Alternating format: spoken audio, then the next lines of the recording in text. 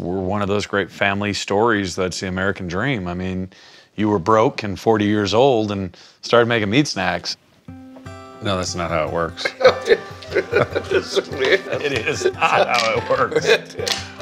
so, Dad, obviously, you grew up in the meat business, in the family business, and you know, we always joke you're a meathead at heart, and the family's got a lot of meathead in it. How much do you think that that has influenced the Jack Link's evolution? Probably on a scale of 1 to 10, probably 10. My grandfather came from Germany. He opened up a small butcher shop up in Minong. We always were MDs, meat dealers. and, uh, I, you know, I started when I was seven, eight years old. I did the raising of the cattle, I did the butchering. I uh, studied under a German sausage maker.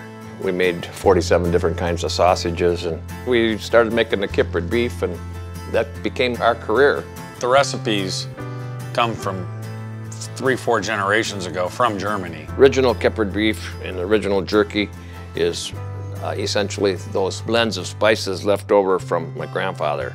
I think me pushing you to get into beef jerky and pushing you and pushing you, you know, you probably would have fired me if I wasn't your son. That's correct. And it just took off with so much steam, you couldn't say no.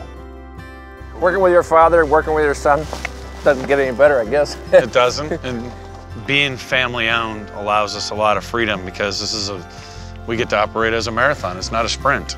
You're gonna work hard, you're gonna spend a lot of time and a lot of energy, and you're gonna hopefully be around a lot of great people and everything, but making beef jerky is just fun.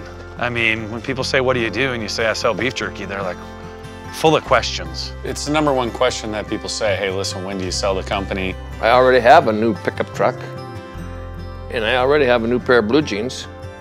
I got a good dog, and my wife's fine. Uh, we're making good quality snacks, and our sales are good.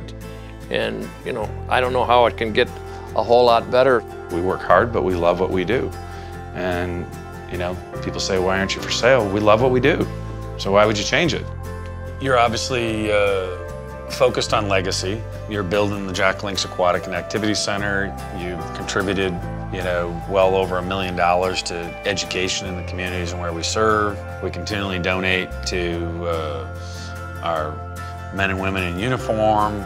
You know, what else do you see in your legacy? Well, uh, I'm pretty happy the way things are. And I'd just like to have uh, more happiness amongst everybody and uh, jobs for everyone, paychecks for everyone, have the business prosper and do good and, and, and just create the, uh, the American dream. And, and it's been that way and uh, hopefully it keeps on going that way. And uh, well, you've done a good job. I mean, you've created lots of opportunity for all of us. Well, thanks. There's yeah. lots and lots of people -huh. in the organization. -huh. But what else do you see as your that's my guy. You can't use my guy. Oh. You're the black ones. Thought maybe you weren't paying attention. No. Not paying attention. I get paid to pay attention. We're about done here. It won't take long.